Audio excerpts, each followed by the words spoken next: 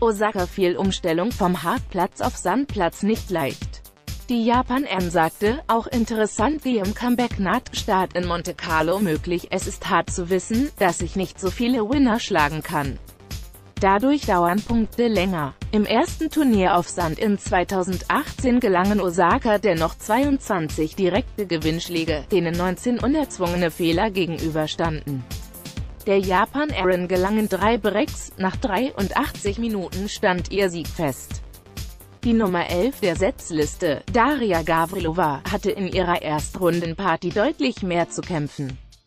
Gegen Nummer 131 der Welt, Ons Jabeur, setzte sich Australierin nach einem desaströsen ersten Satz nach einer Stunde und 49 Minuten mit 1 zu 6, 6 zu 4, 6 zu 3 durch.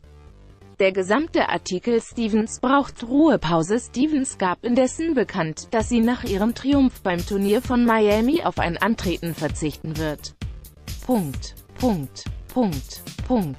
Punkt. Punkt. Punkt.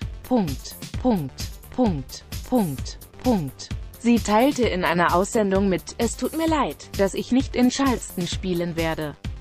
Mein Weg zum Miami-Titel hat mich komplett erschöpft, sowohl körperlich als auch mental. Stevens gewann das Turnier vor zwei Jahren, als sie Elena Vesnina im Finale bezwang und ihr bis dato größtes Turnier gewann.